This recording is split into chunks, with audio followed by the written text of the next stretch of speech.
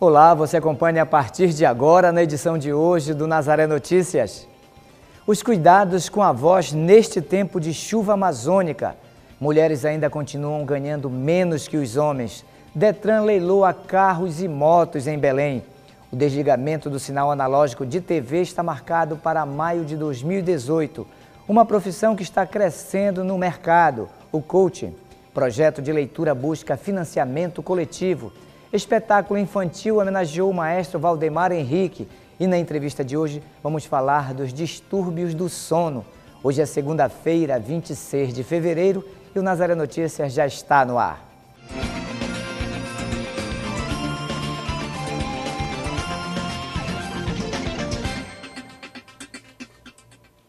Começamos o Nazaré Notícias de hoje falando sobre saúde.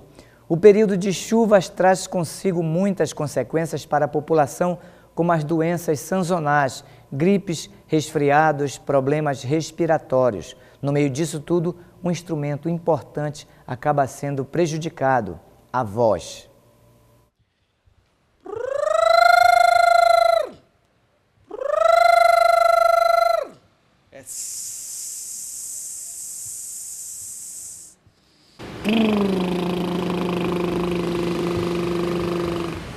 Exercícios como estes que o Bruno faz antes de um show, principalmente em dias de desfile. Ele é intérprete de escola de samba e sabe que precisa cuidar bastante da voz. Com certeza a gente enfrenta algumas gripes, alguns momentos assim, mas por isso que é importante o contato com a fonoaudióloga, que ela vai, mesmo que, que gripado, vai te dar algum caminho, alguma, algum direcionamento. Esse ano, graças a Deus, eu não enfrentei isso, mas no ano passado eu fiquei gripado na época do carnaval. Em alguns momentos a voz fa faltou. No dia do desfile foi preciso concentração, muito chá, muita pastilha, mas na hora saiu. Se o cuidado com a voz precisa ser constante, imagina nessa época do ano. Período chuvoso, ventos mais gelados e doenças respiratórias se espalhando com facilidade tudo propício para problemas como rouquidão, pigarros e irritação na garganta. Essa época, né, que é um período muito de chuva e tudo mais, as doenças respiratórias elas são frequentes. Então, o que é que vai diretamente afetar a tua voz, principalmente quem tem alergia, sinusite, né, faz com que essa prega vocal fica, fique mais inchada, com edema. É aí que fica que vira aquela rouquidão principal é que sintoma, a rouquidão é um sintoma. Então, por ser um sintoma, ela já serve como um sinal de alerta. Claro que quando se é um profissional que trabalha com a voz, como professores, cantores, locutores, é necessário ter uma atenção maior. Mas os cuidados com este instrumento de comunicação devem ser constantes. Principalmente tomar água. É, muitas pessoas acabam esquecendo, ou tomam água somente quando já não está mais aguentando, está muito seca fazer a nebulização, fazer o aquecimento. Tem várias formas de fazer um aquecimento. E o desaquecimento.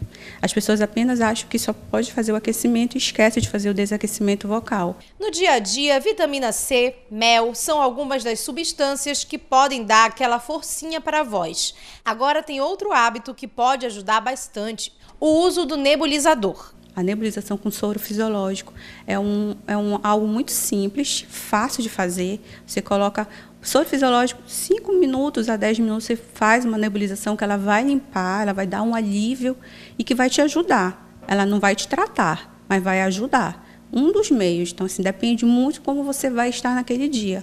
Porque eu posso, posso fazer vaporização, é, nebulização, são N coisas que você pode estar tá, para fazer para ajudar essa voz.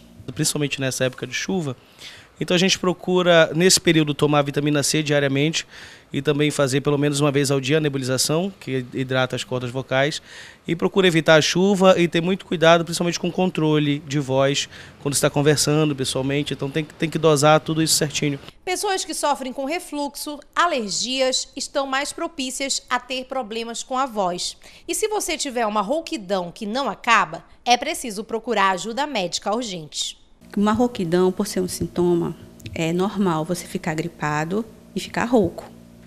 Mas se eu não estou, a minha gripe passou e eu continuo rouco, eu preciso procurar. Independente se eu sou professor, se eu sou cantor, se eu sou repórter, independente disso. Um, depois de 15 dias, ela tem que desaparecer a rouquidão. Se permanecer, precisa procurar um otorrinolaringologista. E agora vamos falar de um grave acidente de trânsito em Marabá. Cinco pessoas morreram carbonizadas em um grave acidente de trânsito na BR-230, no sudeste do Pará. Na madrugada deste domingo, dois veículos de passeio colidiram frontalmente e foram destruídos por um incêndio. Uma pessoa sobreviveu. O acidente aconteceu nas proximidades da Vila 1 de Março. Um dos carros tem placa de Ananindeua e o outro veículo placa de Marabá. Segundo a Polícia Civil, a vítima sobrevivente conseguiu sair do carro durante o um incêndio e está internada no Hospital Regional de Marabá.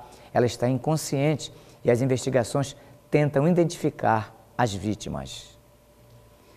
Neste final de semana, fez 86 anos que as mulheres conquistaram o direito ao voto. Desde então, várias coisas mudaram em relação à igualdade de gênero, porém ainda falta bastante a ser percorrido.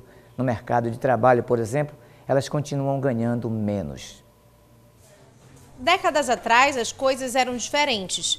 Poucas mulheres estavam no mercado de trabalho formal e quem estava, muitas vezes, encontrava condições de trabalho inadequadas. Mas será que essa realidade mudou? A participação das mulheres no mercado formal de trabalho vem crescendo ao longo dos anos, mas o crescimento ainda é pequeno. De 2006 para 2016, cresceu apenas 4%. Agora, quando se refere à diferença salarial, as mulheres continuam ganhando menos. As mulheres chegam a ganhar até 15% a menos do que os homens. É uma questão histórico-cultural, né? Nos países desenvolvidos, é, essa igualdade entre homens e mulheres se dá ao final do século XIX, início do XX, principalmente com as duas guerras mundiais, onde os homens precisam ir a combate e as mulheres acabam tendo que sair do lar e assumir as posições que antes eram ocupadas por homens. Então essas sociedades elas já se habituaram desde então a tratar igualmente os indivíduos, tanto na iniciativa pública quanto na iniciativa privada. Contudo, há algumas sociedades em desenvolvimento que ainda há valores arraigados a esse patriarcalismo que faz com que a mulher ainda seja vista como um ser que desenvolve um papel social ligado ao lar e o homem um papel social voltado uh, para o sustento da família e, e claro, para, para os melhores postos de trabalho. Né? E isso está sendo gradativamente uh, superado na nossa sociedade, mas ainda não foi totalmente. Luciane hoje ocupa um cargo de chefia, mas teve que ralar muito para chegar à função que exerce hoje.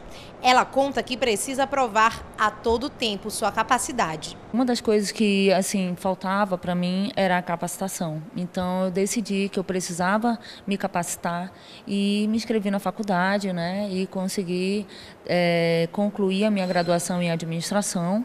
E logo na sequência eu fiz gerenciamento de projetos, MBA e isso fez toda a diferença, faz muita diferença. Hoje, não só as mulheres, mas todas as pessoas, elas precisam muito ver essa questão da capacitação, porque o mercado hoje ele está muito competitivo, ele está muito exigente. Então, assim, para que a gente consiga é, é, ficar de igual para igual com os outros profissionais, para a gente competir no mercado de trabalho, é, a gente precisa estar tá capacitado. E essa necessidade de se capacitar se reflete nos números. A maioria das pessoas com nível superior no mercado de trabalho são mulheres. Elas são 59% dos cerca de 10 milhões de profissionais com ensino superior e carteira assinada. Ainda assim, a média salarial de homens com ensino superior é de R$ 7.500, enquanto a da mulher é de R$ 4.800, ou seja, 36% a menos. Essa desigualdade salarial, ela se dá principalmente na iniciativa privada, né?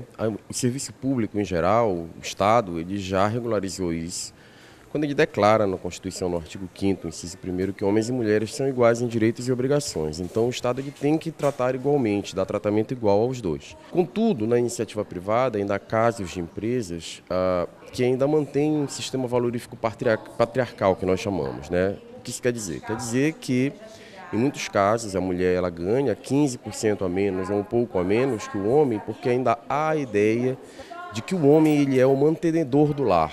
Né? Então a mulher ela ainda é, é prioridade para perder o emprego em tempos de crise, ela ainda ganha menos, porque em teoria acredita-se que o homem ele é o sustentador do lar. Logo, ele deve ganhar mais e deve ocupar a posição primeiro que a mulher. Elas ainda são minoria no mercado formal.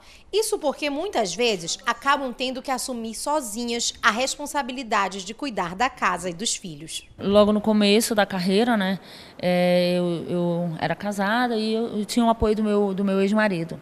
Mas é, ultimamente eu estou separada e realmente é eu que, que sustento a família toda, né? E é, realmente tem muitas mulheres que desistem por conta disso. Eu já vi muitas desistirem porque realmente não tinham com quem deixar os filhos e acabam desistindo. Todo o processo que se envolve em torno, que cerca a questão da mulher no mundo do trabalho, envolve o fato dela ser mulher, né, no caso. Então, ela tem historicamente a, a ideia de que a mulher ela deve cuidar do lar, tem a ideia também cultural disseminada de que a mulher ela não precisa ganhar tanto por conta da questão do homem ser o sustentador do lar. Tem a questão da mulher ser a primeira a perder o emprego. A mulher ela ainda é o que representa o maior número de pessoas que não podem se ocupar, são os subocupados, por exemplo, porque ela precisa cuidar do lar, ou por uma situação de divórcio, ou por uma situação de crise, porque ela não pode trabalhar, porque não tem creche, não tem escola, etc. Então, há uma série de papéis sociais que estão ligados à mulher que precisam ser desconstruídos e ter e se, e se construir novos modelos igualitários, né, onde homens e mulheres exercem os mesmos papéis e têm os mesmos direitos e deveres dentro da sociedade.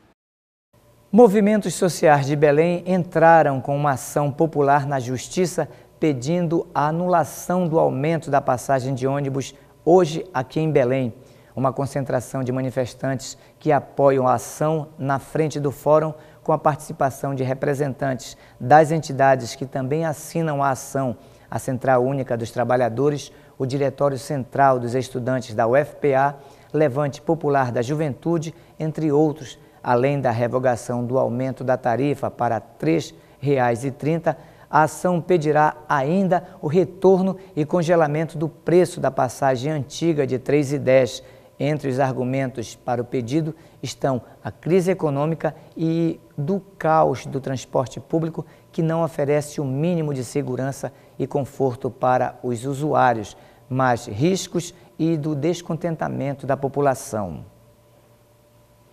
E agora vamos falar de saúde.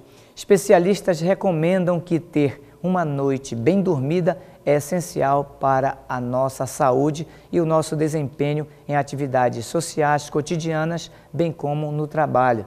Mas existem pessoas que ainda não vivem essa realidade. Quando se sofrem de distúrbios do sono, como a insônia e o sonambulismo, dormir bem é quase impossível. Na entrevista de hoje, a neurologista Maria de Jesus conversa com Larissa Cristina sobre os distúrbios do sono. Não é isso, Larissa? É isso mesmo, Marcos. A entrevista de hoje vai falar da importância de se dormir bem, de como isso pode melhorar a qualidade de vida das pessoas. E se você tiver alguma dúvida e quiser participar da nossa entrevista, basta interagir com a gente via WhatsApp. O nosso número é o 9 8802-3444. Aqui ao meu lado está a doutora Maria de Jesus Prazeres. Ela é neurologista e trabalha justamente nessa área do sono, desses distúrbios que acometem aí grande parte da população. Doutora, quando a gente fala de dormir, né, muitas pessoas pensam, nossa, mas eu durmo tão pouco durante o dia. A rotina hoje em dia de vida, que a gente percebe que muita gente tem, contribui para uma noite mal dormida, muitas pessoas acordam aí com essa questão de cansaço. Bom, com certeza, né? A rotina é, de muita ansiedade, muito trabalho, elas contribuem para uma noite mal dormida. Eu diria que uma das principais é, situações que colabora para esse distúrbio do sono que cada vez se tornam maiores são é, a exposição inadequada à luz artificial. Justamente. Muitas pessoas antes de dormir ficam horas no telefone, o quarto escuro, mas o celular está aceso ou a própria televisão. Isso é ruim? Exatamente, isso é ruim. Né? Ah, nós temos um ritmo biológico, nós temos um ritmo, um relógio circadiano. E esse relógio, ele compreende mais ou menos assim, de 6 a 8 horas de sono para um adulto. Só que para esse relógio funcionar, é como se ele tivesse um interruptor, ele tem uma, um, uma situação que estimula esse relógio. E a principal situação, o principal fator que estimula esse relógio é a luz. Né? Então, de dia, é, esse relógio está ligadinho, então você está desperto né? e está é, menos cansado para exercer de maneira adequada as suas funções. Quando chega por volta ali das 6 horas, a luz, quando ela começa a cair, ela manda uma informação através da retina para que a sua glândula pineal produza melatonina, que vai fazer com que haja uma boa noite de sono. Então, se a gente chega em casa depois de um dia atribulado e você fica exposto a todos esses fatores que você falou, provavelmente a sua melatonina vai demorar a ser fabricada. E isso é hoje o principal fator da insônia no mundo. Justamente. Doutora, o sono, ele é dividido em fases? Sim, o sono, ele te... antigamente se dizia cinco fases, hoje a gente considera quatro fases. A primeira fase é a fase de transição a segunda fase é a fase de sonolência, onde começa a cair o ritmo biológico, né? O, o, o, a frequência cardíaca diminui, a frequência respiratória diminui, o nosso metabolismo lentifica. Por que, por que, que isso acontece? Para que haja uma economia de energia. É nesse momento que o organismo está se restaurando, não só a sua função muscular, mas também seu, os seus anticorpos que te protegem de doença. A quarta fase é considerar, a gente chama de sono REM, né? vem do termo é, movimento rápido dos olhos. E nessa fase, onde acontecem os sonhos, é a fase responsável por, pela nossa memória e o nosso aprendizado. Então, cada fase dessa tem uma função. E é, diferentes distúrbios afetando cada uma dessas fases vai levar a uma disfunção, a um distúrbio do sono. A gente sabe, doutora, que muitos relatos de pessoas idosas são relacionados à insônia. Conforme a idade vai chegando, elas vão perdendo um pouco mais aquela quantidade de sono habitual. Ah, quais são os principais fatores que são atribuídos à insônia? A gente sabe que na juventude nós mencionamos aqui a utilização antes de dormir de aparelhos com a luz artificial. Uhum. Mas e na terceira idade? É, uma das dos responsáveis para começar todo esse processo são células que estão presentes na retina. Elas levam a informação para o início da produção de melatonina e o início do sono. Com o passar do tempo, doença dos olhos, do cristalino, eles vão interferir nisso. É por isso que a insônia comete muito a terceira idade. Certo. E olha, a gente tem o transtorno de déficit de atenção e hiperatividade, que muitas vezes ele é confundido com os distúrbios do sono. Isso é verdade? Como desmistificar isso? Bom, é, o déficit de atenção, como o nome está falando, você tem uma dificuldade na atenção, mas isso vem todo um histórico isso começa na infância, é, traz um prejuízo ao longo do desenvolvimento intelectual, escolar, depois do trabalho no adulto. Já a insônia, ela, ela pode acontecer em qualquer fase da vida. Por isso que é diferente. Doutora, uma pesquisa realizada pela Sociedade Brasileira do Sono mostrou que 43% dos brasileiros não têm um sono restaurador e apresentam sinais de cansaço no decorrer do dia. Por que isso ocorre? Bom, isso é verdade. Né? A, a, primeira situação é que nós falamos é a exposição inadequada à luz artificial. A segunda situação é, está relacionada a uma outra doença muito prevalente na, é, é, na, na idade, né, nessa era moderna, que é a depressão e a ansiedade e o estresse. Eles influenciam também na fase do sono. E justamente, quando a gente fala desses distúrbios do sono, você mencionou duas doenças. Esses distúrbios, quer dizer, não dormir bem, isso pode acarretar em problemas para a minha saúde, até acidentes graves? Pode sim, com certeza. É, dormir bem, ele é tão importante quanto se alimentar bem, quanto ter bons hábitos de vida. Então, aquelas pessoas que não dormem bem, elas vão ter dificuldade no seu aprendizado, na sua memória, no seu desempenho no trabalho, na sua atenção. Né? E é importante é, dormir bem. Volto a, a, a, a, confirmar o que eu falei. É, é muito importante para a saúde da nossa mente e do nosso corpo. E o café, doutora? É verdade que o café tira o sono?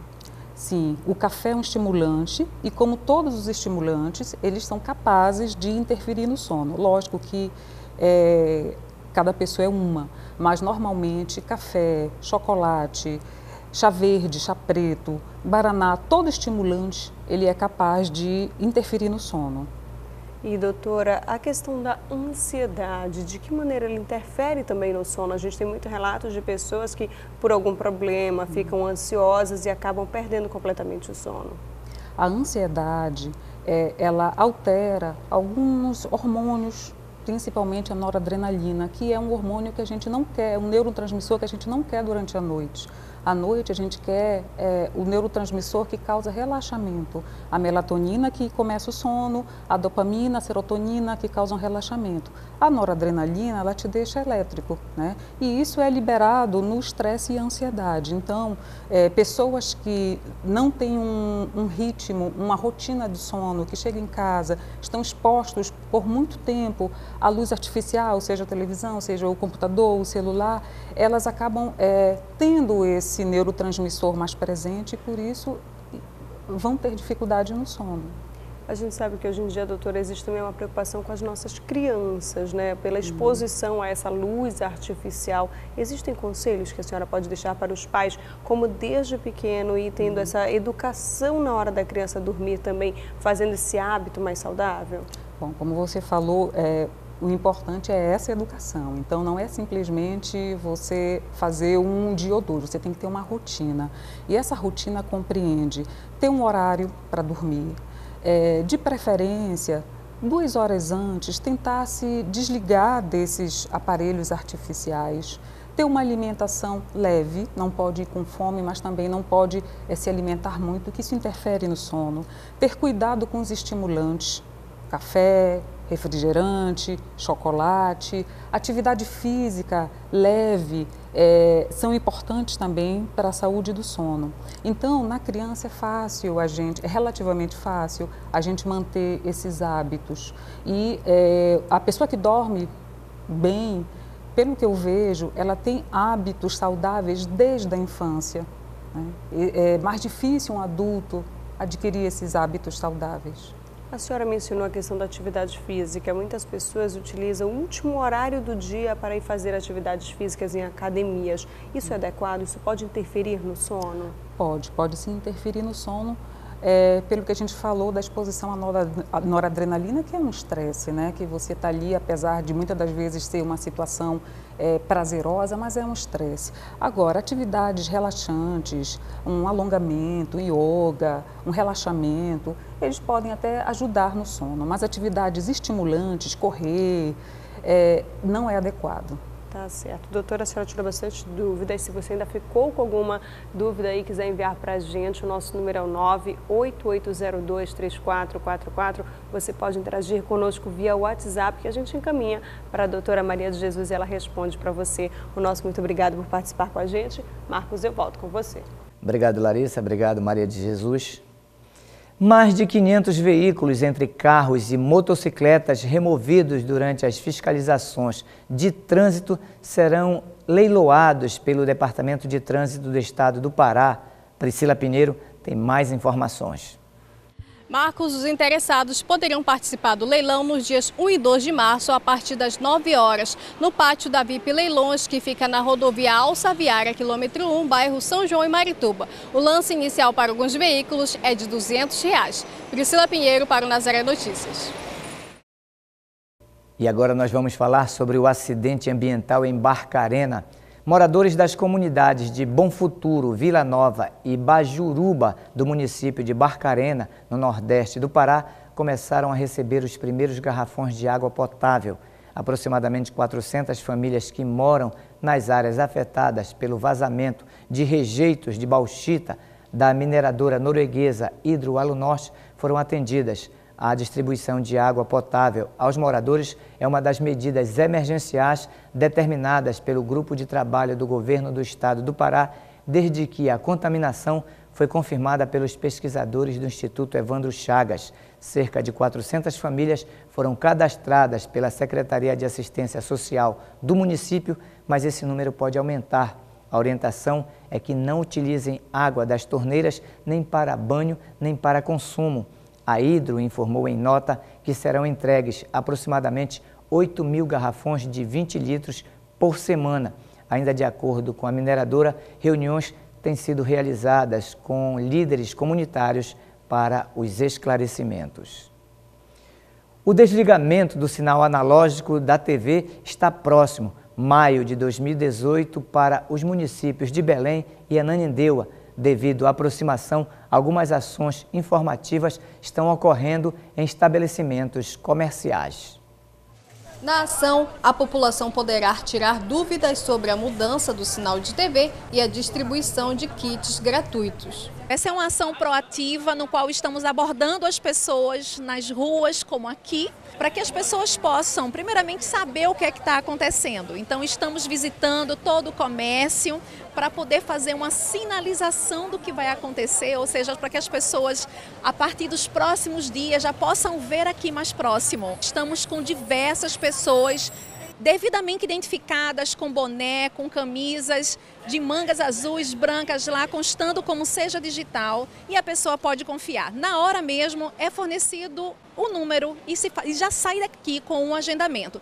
No local onde a ação estiver acontecendo, também será possível agendar a retirada do kit. Só basta vir mesmo com o número do seu número de identificação social, o NIS ou o CPF. Na hora com o tablet, nossos, é, os nossos promotores ou promotoras irão colocar a informação e fazer o agendamento. Tudo dura no máximo aí 30 segundos. Dona Maria de Fátima, que passava pelo local, fez o agendamento para a retirada do kit. É muito bom, né? Pelo menos a gente não vai comprar, né? O desligamento ocorrerá no dia 30 de maio, já. Então todas as pessoas que ainda não têm sinal digital terão que se preparar. Mais de 345 mil kits gratuitos com antena digital e conversor com controle remoto serão distribuídos em toda a região. Bom, né? Para quem não tem condição, né? É uma ajuda. O objetivo principal é garantir para que todos e todas possam saber que a TV agora é digital. O sinal estará aí posto, a qualidade de som e imagem é de cinema e o melhor de graça. Quem ainda for pegar o seu kit, quem fizer a instalação o mais rápido possível, além de ter essa qualidade gratuitamente em casa agora, a pessoa também poderá concorrer a dois mil reais a cada quinzena. O que é isso? Se chama instalação premiada. A pessoa chega em casa, faz a instalação, gera um código de cinco dígitos ao final liga para 147 ou pelo site da Seja Digital e começa a concorrer a partir daquele momento a dois mil reais. Isso é maravilhoso porque a pessoa pode gastar com o que quiser. São 30 cartões nesse mesmo valor. E você pode participar da produção aqui do Nazaré Notícias. É só enviar para nós sugestões de entrevistas ou de reportagens para o nosso WhatsApp. O número é o 988023444 Aí você informa o seu nome e a sua cidade. Ajude os meios de comunicação da Arquidiocese de Belém. Faça parte da família Nazaré. Ligue 4006-9211. E você acompanha ainda nesta edição uma profissão que está crescendo no mercado, o coaching. Projeto de leitura busca financiamento coletivo e um espetáculo infantil homenageou o maestro Valdemar Henrique. Voltamos com o Nazaré Notícias e agora vamos falar de uma profissão que está ganhando espaço no mercado, o coach. Existe coach para todo tipo de necessidade, para empresas, para finanças, para empreendedores e até mesmo para quem quer emagrecer. Auxiliar clientes com técnicas e estratégias é uma das funções do profissional coach. Coach é como se fosse um personal. Só que em vez de trabalharmos o físico, o corpo, nós trabalhamos a mente para fazer com que o nosso cliente alcance a alta performance. Como é que nós trabalhamos? Trabalhamos em cima dos objetivos do, do cliente e assim traçamos um planejamento, estratégias e metas para ele sair de um estado A, que é o estado atual, e chegar no estado B, que é o estado desejado. Para atender de maneira precisa e efetiva os perfis das pessoas e suas prioridades, existem diversos tipos de processos de coaching. Hoje nós temos vários nichos de coach. Nós podemos trabalhar com coach financeiro, trabalhar com coach de empreendedorismo, coach de carreira, coach executivo, é, coach life coach, que é o coach de vida. Então nós podemos trabalhar em várias atuações. Não necessariamente quem trabalha no nicho de coach de carreira tem que ser um especialista em financeiro, porque coach sempre vai ser a mesma essência, que é trabalhar com objetivos do cliente e ajudar esse cliente a alcançar esses objetivos.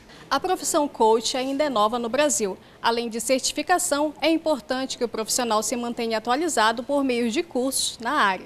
Eu conheci na faculdade de administração, é, quando eu peguei, é, participei de um módulo onde lá tinha um falando um pouquinho sobre o coach e aí eu me apaixonei.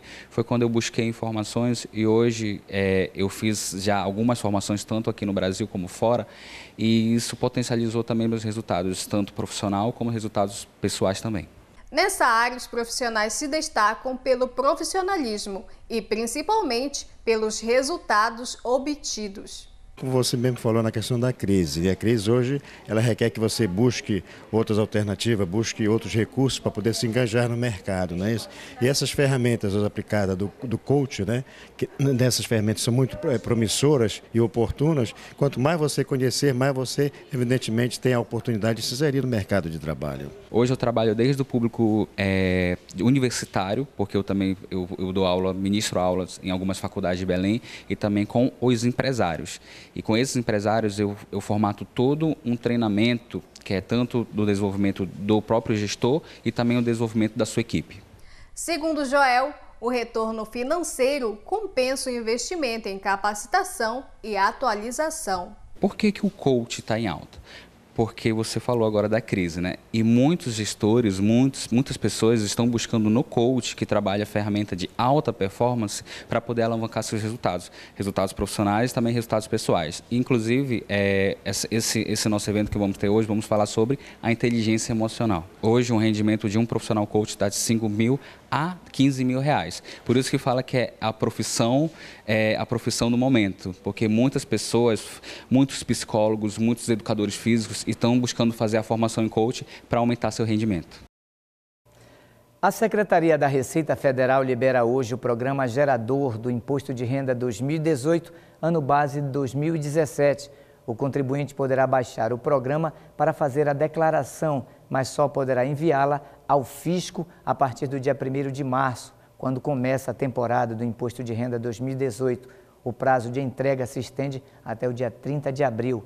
As empresas, entretanto, têm até a próxima quarta para entregar aos seus funcionários o comprovante de rendimentos do ano passado, documento necessário para fazer a declaração do Imposto de Renda 2018. São esperadas mais de 28 milhões de declarações do imposto de renda, um pouco mais que o ano registrado no ano passado. E segundo analistas, o fato de o governo não corrigir a tabela do imposto de renda desde 2015 contribui para que aumente o número de contribuintes obrigados a apresentar a declaração.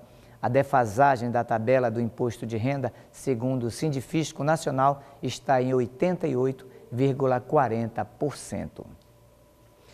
Um projeto de literatura está em busca de um financiamento coletivo. É o livro A Menina Colorida de Papel Crepom. Priscila Pinheiro conversou com o autor Joécio Carvalho sobre a obra. O Joécio é professor, escritor e artista. Está com um projeto voltado para o público infantil. É um projeto de leitura que inclui uma menina. Joécio, conta um pouquinho para gente sobre esse projeto, como é que ele foi pensado. É, a Menina Colorida de Papel Crepom surgiu há 10 anos, de acordo com vivências que eu tive, tanto na minha vida acadêmica, de por viagens dando aula, é, aí surgiu a escrita na minha vida, desde pequeno já fazendo muitas leituras, e eu resolvi relatar todas essas vivências através da história da Menina Colorida de Papel Crepom. São dois livros, né? Você tem o primeiro, que é só a Menina Colorida, e tem o segundo, a Menina é, colorida de papel crepom e a cidade monocromática. Mas como é que você pensa nos textos para você montar e fazer que essa leitura seja didática e, e também a, a, ilustração dela é super importante, a gente viu que tem um super colorido. Conta um pouquinho para a gente sobre essa história. A história, a primeira fez sobre poesias e o ilustrador foi muito feliz com a, com, a, com os desenhos da menina colorida. O segundo, eu falei sobre algumas cidades que só tem uma cor. Cidades normalmente grandes, normalmente grandes, é mais cinza por conta de poluição, prédios. E ela sai da cidade onde ela vivia e o pai vai ter que ir trabalhar para uma outra e leva toda a família. Ela chegando lá acaba encontrando essa cidade diferente do que ela era habitualmente é, vivia. Então ela resolve, junto com os amigos, tentar colorir um pequeno espaço, depois ele vai se ampliando e ampliando até que o bairro onde ela mora começa a se colorir e começa a ganhar também outros locais de cores na cidade. Joelson, para que esse projeto ganhe mais espaço né, nas leituras, para que as pessoas tenham acesso a essa leitura, você está precisando de ajuda, que é através do financiamento coletivo. É, você já começou, iniciou a campanha para conseguir é, essa ajuda? Sim, sim, iniciei faz três dias. Aí estou esperando que já fiz algumas campanhas com os amigos mais próximos e resolvi ampliar para mais pessoas. Né? Então, a gente espera conseguir esse apoio, de, as pessoas possam visualizar lá pelo site e ajudar na contribuição tanto da literatura paraense, que é muito importante, né, para que as crianças, adultos, independente do público, possam estar entrando em contato com o livro da Menina Colorida. Como é que as pessoas podem te ajudar? Qual é o site que elas podem acessar? É, qual é o telefone que elas podem te ligar para se interessarem e querem te ajudar de alguma forma? O, o processo é todo feito pelo site do catarse.me. Entrando lá, são alguns pacotes que eu ofereço de trocas de alguns brindes. A, a pessoa faz a contribuição totalmente pelo site. Mas caso queira entrar em contato comigo, pode entrar em contato que eu faço a indicação para o site também, mostro passo a passo como deve ser feito lá para adquirir o livro. E o que as pessoas ganham é, te ajudando de leitura? É, o que, que você pode agregar na vida, principalmente das crianças, é uma leitura voltada para o público infantil? Sim, é, eu tenho um problema de diferenciar algumas cores, então tudo isso foi pensado desde para quem tem dificuldade de enxergar alguma cor, quem tem dificuldade de entender, mesmo que seja fácil a, a literatura. Então, são palavras de vivências infantis, cheio de cores, para que facilite mais ainda a vida da, da criança, a vida acadêmica da criança, né? e que a gente possa também cada vez mais chegar não só nas crianças, mas nos adolescentes, para que eles possam desenvolver mais ainda a leitura e uma leitura fácil e gostosa de se fazer. Gelson, você já tem previsão de lançamento dessa obra? Já sim, se der tudo certo, será em outubro deste ano, próxima festa do Círio. A gente agradece a sua participação aqui no Nazaré Notícias e deseja sucesso, que as pessoas possam contribuir com o lançamento da sua obra. Marcos, eu volto com você no estúdio. E agora vamos falar de trânsito na Ilha de Mosqueiro. A ponte da Rua Variante na Ilha de Mosqueiro, distrito de Belém, que fica numa área da praia do Murubira, será interditada totalmente para veículos a partir de hoje. Em dezembro de 2016, o local sofreu uma avaria em sua estrutura metálica. Depois de vistoriada pela Defesa Civil do município, ficou decidido que a ponte seria parcialmente interditada para carros, vans, caminhões e outros veículos de maior porte. A ponte apresentou uma deformação em sua estrutura, inclinando. Isso levou a Agência Distrital de Mosqueiro e o Corpo de Bombeiros a interditarem totalmente a ponte no início de fevereiro. Há cerca de 10 dias, os blocos de concreto que faziam a interdição, ainda que tenham sido pintados de branco para alertar e chamar mais atenção, foram retirados pela população da posição em que estavam e os carros continuaram a passar pelo local. A ponte e a Rua Variante são uma alternativa para chegar à vila e outras praias. Existem outras possibilidades para os veículos. A primeira é trafegar pela Avenida Beira Mar ao longo das praias e a segunda é passando pela rodovia PA 391. Caso as pessoas não queiram vir da Beira Mar e seguir pela rodovia, a alternativa é a Rua César Augusto, que liga diretamente o Murubira à rodovia. E agora você acompanha a previsão do tempo para esta terça-feira em alguns municípios da Amazônia.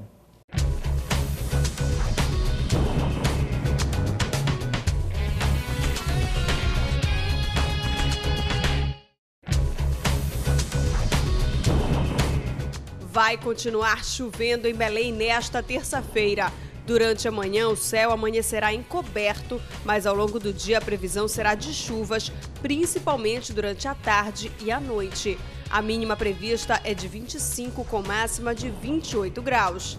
Já em Parintins, no estado do Amazonas, a previsão é de céu com muitas nuvens durante quase todo o dia. Ao longo da tarde, a chuva deve aparecer em forma de chuva fraca. A mínima prevista é de 24 e a máxima de 30 graus. Em Coroatá, no Maranhão, a previsão também será de céu encoberto e chuvas. Durante a tarde, o sol deve aparecer entre nuvens, mas ao longo do dia será substituído pela chuva. A mínima prevista é de 24, com máxima de 33 graus.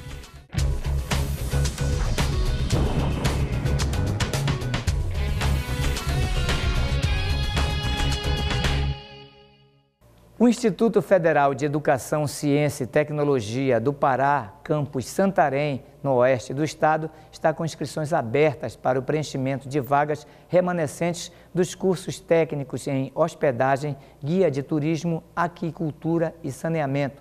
Priscila Pinheiro tem mais informações. Marcos, as inscrições seguem até o dia 28 desse mês e podem ser feitas no Camp FPA de Santarém, localizado na Avenida Marechal Castelo Branco, número 621, no horário de 8 ao meio-dia e de 14 às 18 horas. Os interessados devem levar um documento oficial com foto, comprovante de residência e CPF. Priscila Pinheiro para o Nazaré Notícias.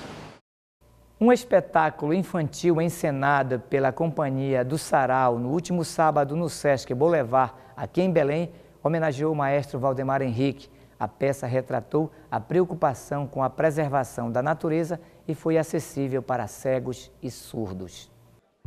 Encantamentos era o nome da peça infantil. Os personagens da história, comuns nas lendas regionais, como Curupira, a Mãe do Mato, Cobra Grande e Valdemar, encenavam sobre os cuidados com a natureza. Lá na do Rio? É, ele mesmo. Eu não sabia que ele podia te ouvir. É claro que pode. Tudo e todos na floresta têm vida e nos entendem. Mas só aqueles que têm um bom coração são compreendidos e compreendem o que a natureza tem a dizer. Mas então, Valdemar, eu te chamei aqui porque não, eu quero peraí. falar pra você. Fala comigo primeiro, Eduardo. Não, Eduardo, peraí. Seja cri-cri. Não, Eduardo, peraí que eu quero te pedir um favor. Muita gente aproveitou a opção de lazer para levar a criançada.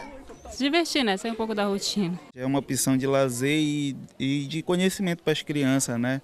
Eu acho bacana porque a entrada é franca, né? E dá oportunidade para muita gente apreciar, né? A peça foi criada pela atriz, autora e diretora Maíra Monteiro, que se inspirou no universo do maestro Valdemar Henrique para criar uma história lúdica, divertida e reflexiva, que chama a atenção de crianças e adultos. Em 2005, houve um concurso né, do governo do estado, que foi o ano do centenário do nascimento do maestro Valdemar Henrique. Então, qual era o objetivo? Era premiar né, trabalhos em que tivesse a temática Valdemar Henrique. E eu preparei esse texto infantil sem nem ler o edital. Né, porque eu sempre fui apaixonada pela obra dele. E algum tempo depois, o que, que eu percebi? Que não podia ser espetáculo infantil, sou adulto. E eu encaixotei o espetáculo. E tempos depois, uma amiga minha, não, vamos montar que esse espetáculo interessante, eu montei. Mas por que especificamente Valdemar Henrique e as lendas da Amazônia? Porque 11 da, das músicas da obra do maestro Valdemar Henrique estão fundamentadas nas lendas amazônicas. Tudo acontece quando um menino ribeirinho chamado Valdemar encontra-se com um curupira e juntos vão procurar a mãe do mato. Um texto conta a história do menino Valdemar, que é um menino que é, digamos assim, convocado pela mãe do mato e pelo curupira para ajudar a salvar a floresta da vilania do Cobra Grande, que se transformou no exportador de madeira e está derrubando toda a floresta. Então a história é exatamente essa, né? Pela, pelo bom coração, pelo talento do menino Valdemar, ele é chamado para ajudar a salvar a nossa Amazônia. O espetáculo contou com a participação de audiodescritoras, um direito garantido às pessoas cegas. Essa lei é um direito, né? O lazer é um direito básico para toda uma população.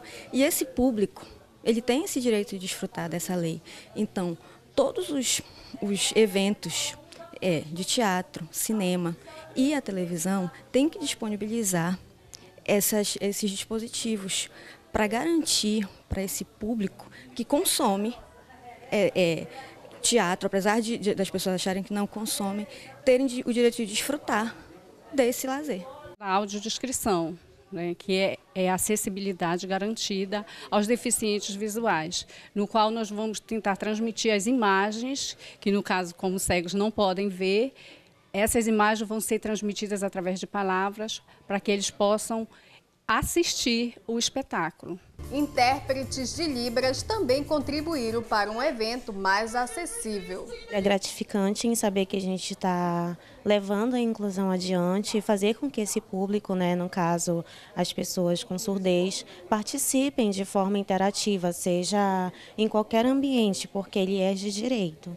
Então é uma, uma honra participar desse sarau e ser um instrumento dessa inclusão. Graças ao Sesc Bolivar, a gente conseguiu né, a ser um, acessível a Libras e audiodescrição. E isso é muito importante, porque a gente está trazendo um público para o nosso espetáculo, que é um público diferente, que vai poder ver o espetáculo através de palavras. Isso é bem interessante. Público que eu costumo dizer que ele é para todas as idades, não só para a criança. Por quê? Porque o adulto, né, os pais, os responsáveis, acabam trazendo as crianças. Isso é muito legal, porque como o Cobra Grande é inescrupuloso, ele tem um pouco da característica dos nossos nossos políticos, né? E essas pinceladas sutis são dadas durante o espetáculo e os pais se divertem muito. Preserve a natureza, trate os bichos como amigo, senão na mesma hora eu te castigo, porque eu sou